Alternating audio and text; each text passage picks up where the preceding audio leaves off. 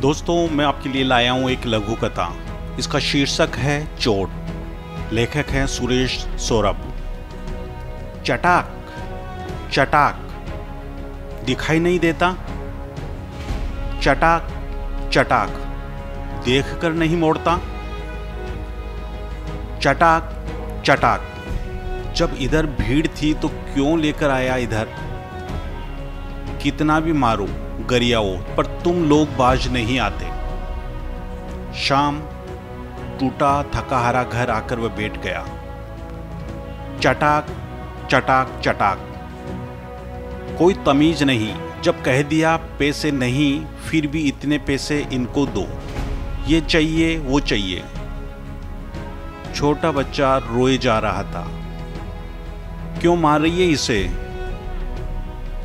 काम कहो तो सुनता नहीं, ऊपर से जो भी ठेले खोमचा वाला निकले तो जिद, ये चाहिए, वो चाहिए।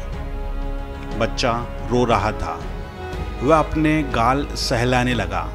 पत्नी को करुण नेत्रों से देख बेहद मायूसी और नरमी से बोला, अब न मार बच्चे को। चोट मुझे भी लग रही है। लगता है हम रिक्शे वालों की पीढ़ी दर पीढ़ी ऐसे ही मार खाती बीतेगी। अब पत्नी अपने पति रिक्शे वाले को हैरत से एकटक देख रही थी। रो तो बच्चा रहा था, पर उसकी आँखों में आँसू न थे। लेकिन उसकी और उसके रिक्शे वाले पति की आँखों में आँसू डब डबा आए थे।